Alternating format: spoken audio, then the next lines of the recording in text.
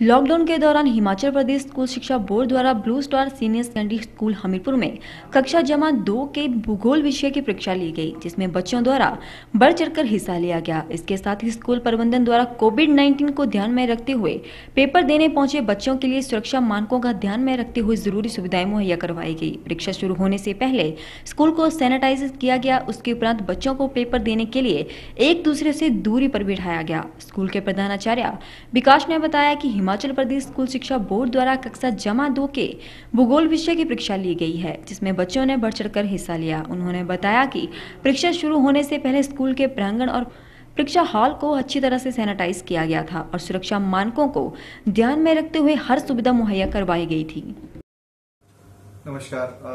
आज प्रदेश के अग्रणी Blue Star senior secondary school Hamirpur में हिमाचल प्रदेश स्कूल शिक्षा बोर्ड द्वारा आयोजित भूगोल विषय की ज्योग्राफी विषय की परीक्षा का आयोजन किया गया।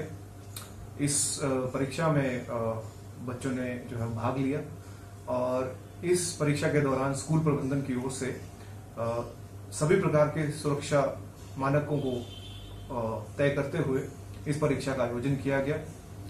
सुबह परीक्षा शुरू होने से पहले परीक्षा के प्रांगण को और परीक्षा हॉल को सैनिटाइज किया गया अच्छी तरह से।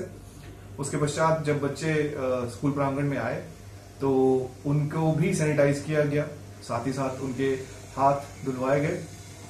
उसके पश्चात सभी स्कूल कर्मियों को सैनिटाइज किया गया और स्कूल कर्मियों और बच्चों को फेस मास्क दिए गए ताकि वो इस दौरान फेस मास्क का प्रयोग करें और मुँह को ढक के रखें, मुँह और नाक को ढक के रखें। इस दौरान पीने के पानी की व्यवस्था जो है वो अलग से की गई।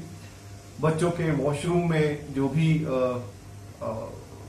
व्यवस्था थी वो उसको भी सुचारू रूप से किया गया। और सभी की सुरक्षा का ध्यान रखते हुए इस परीक्षा को सरकार के द्वारा तय मानकों के अनुसार ब्लू स्टार स्कूल ने आयोजित किया। धन्यवाद।